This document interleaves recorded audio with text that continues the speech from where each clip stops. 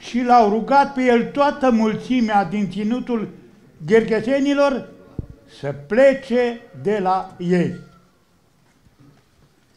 Din Sfânta Evanghelie a Duminicii de astăzi, de la Luca, capitolul 8, versetul 37. Preacucernice Părinte Consilier, Preacucernice Părinte Protopop, Preacucernici Părinți, Domnule Ministru, Secretarul General al Guvernului, domnilor primari, onorate oficialități și iubiți frați și surori. În această duminică minunată de toamnă, când avem bucuria de a fi împreună la resfințirea bisericii acesteia, cuvântul meu de învățătură se oprește la două patimi. Două patimi grele care îi robeau pe oameni. Și atunci, pe când Domnul Isus Hristos era pe pământ, dar în mod deosebit astăzi. Ați auzit ce s-a întâmplat. Domnul a trecut cu corabia pe țărmul celălalt. În cetatea Ghergheza era un îndrăcit,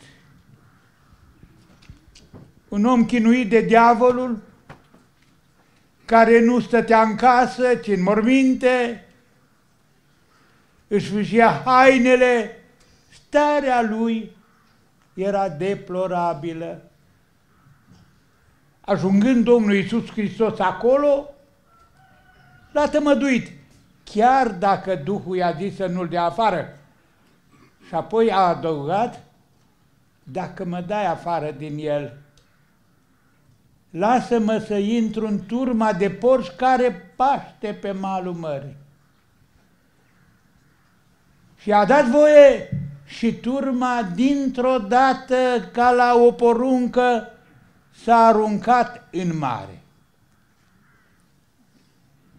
Locuitorii din cetate au venit și văzând ce pagubă li s-a făcut, l-au rugat să plece de la el. De ce? Tocmai acesta este gândul predicii mele de astăzi. De ce să plece de la ei? Pentru că erau stăpâniți de două patimi. Pe de o parte aveau puțină credință, pe de altă parte erau lacomi de avere. Majoritatea erau evrei, unii erau saduchei. Și saducheii ziceau că nu există suflet, că nu există înger, nu mergeau prea departe să zică chiar că nu există Dumnezeu. Și Domnul Hristos a vrut să le demonstreze că există și suflet și înger și o lume spirituală pe care ei nu puteau experimenta. Și faptul că porcii s-au aruncat ca la comandă în mare le-a demonstrat că există duhuri necurate, că există o lume spirituală. Pe deasupra, locuitorii erau evrei și știți că în rânduiala evreilor nu se mănâncă carne de porc. Dar creșteau porcii pentru comerț. Era câștigul bun. Și Mântuitorul Iisus Hristos, văzându-le lăcomia de avere, a îngăduit ca turma să se arunce în mare. Acestea erau cele două motive pentru care Domnul Hristos a îngăduit să se întâmple și pagubă după ce s-a tămăduit bietul om bolnav. Pe de o parte, să le întărească credința, pe de altă parte, să-i tămăduiască de patima iubirii de avere. Și am zis că nu numai atunci, pe vremea Mântuitorului, dar și astăzi, aceste două neputinte sunt prezente.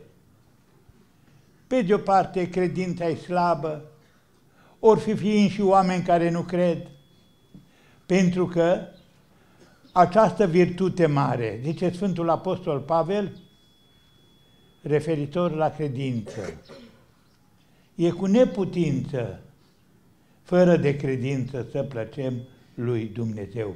Pentru că, zice tot Pavel, credința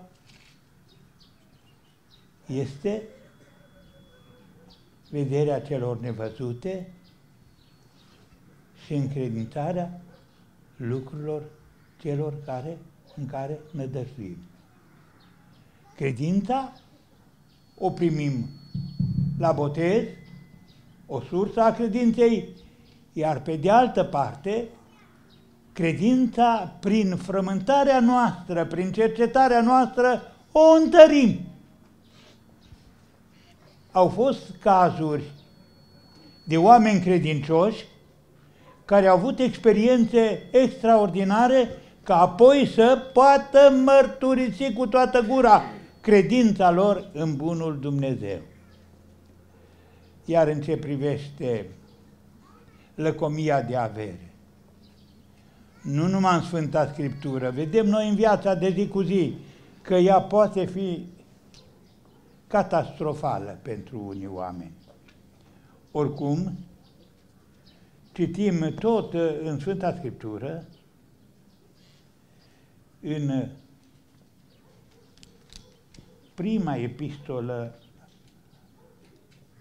a Sfântului Pavel către Timotei, care e atitudinea corectă în fața bunurilor materiale. Pentru că e un adevăr, avem nevoie și de bunuri materiale, dar trebuie să fim ponderați, trebuie să fim echilibrați. Deci, în uh, prima epistolă către Timotei, în capitolul 6,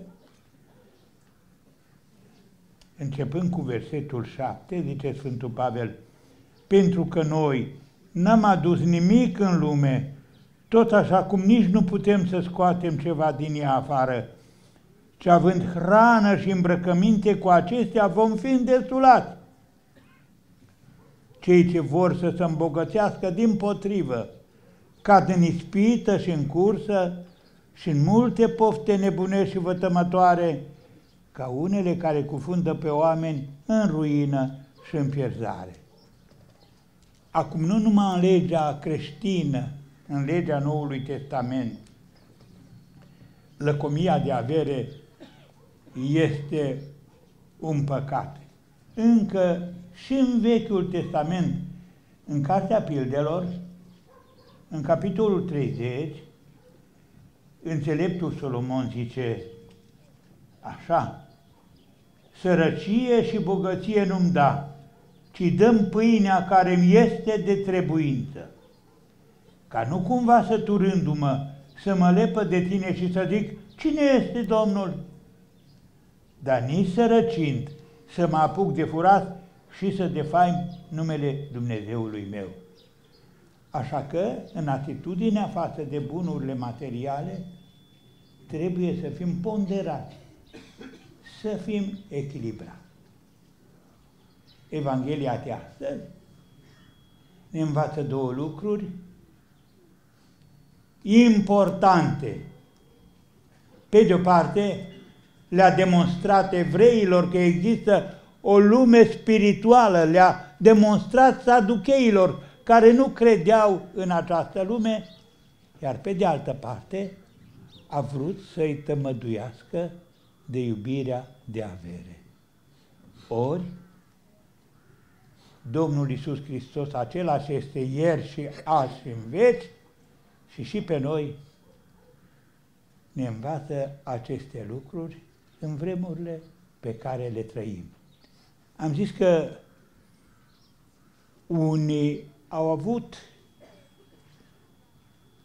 posibilitatea să experimenteze prin fapte minunate credința. Vă aduc un exemplu. Siluan Atonitu, care a murit în viacul trecut, nu de mult, în 1934. era călugăr la Sfântul Munte Atos și la un moment dat a trecut printr-o grea criză sufletească pe marginea prăpăstiei, să se prăbușească în necredință. Și în starea aceasta de suflet, am mers la vecernie, la Biserica Sfântul Ilie, la Sfântul Munte, în mănăstirea Pantelimon și în virtutea obișnuinței a zis, Doamne Iisuse Hristoase, Fiul lui Dumnezeu, miluiește-mă. Și dintr-o dată, pe soleie, în fața icoanelor împărătești, a apărut Domnul Iisus Hristos. Atât de blând, atât de luminat, atât de bun, încât pentru toată viața Siluan a fost covârșit și convins că lumea spirituală e mult mai importantă. Și s-a întărit credința lui încât a fost în, pe, în măsură ca pe mulți alți oameni să îi ajute atunci când să îndoiau în credință. Unul dintre ucenicii lui a fost Sfântul Simeon sau Cuviosul Simeon care și el, după războiul întâi mondial, văzând cât tineri au murit, i s-a părut că fără niciun rost și era să-și piardă credința. Și pe el l-a întărit Sfântul Siluan și a zis, eu l-am văzut. L-am văzut blând, bun, așa că nu te mai îndoi de existența lui. Acum, au fost ei și mulți alții care au avut o experiență directă cu Dumnezeu. Eu vă pomenesc pe unul. Poate nici nu am făcut noi suficientă publicitate.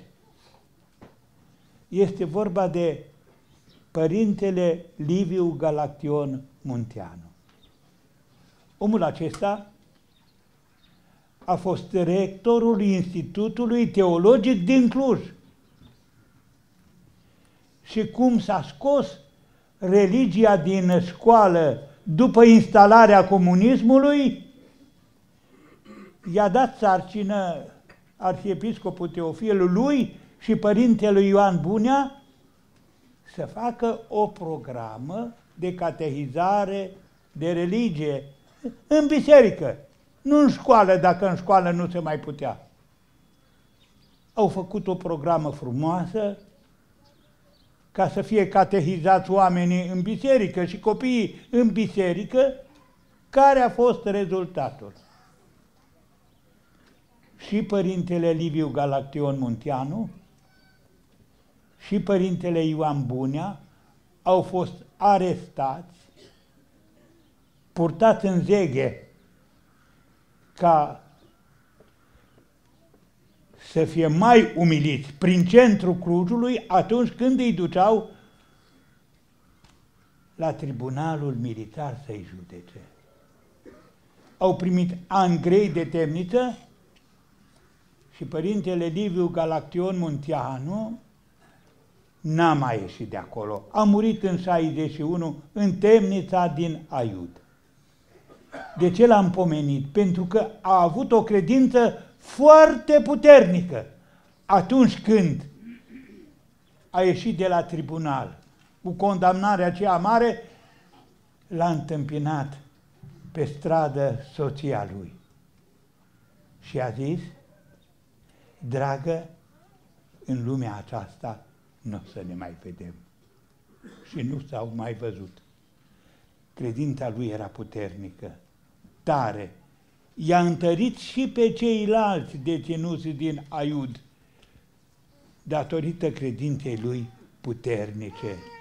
Și era conștient, a și spus textual lucrul acesta, că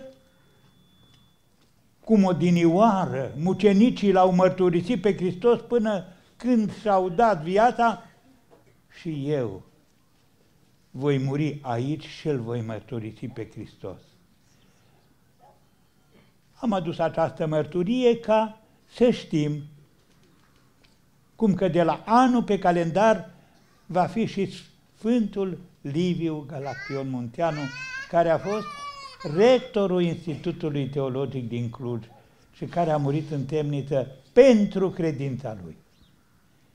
Ziceam că, revin la Evanghelia de astăzi, Domnul Hristos a vrut să-i tămăduiască pe saduchei de necredință și pe toți evreii de atunci, dar pe noi, pe toți oamenii de astăzi, de lăcomia de avere.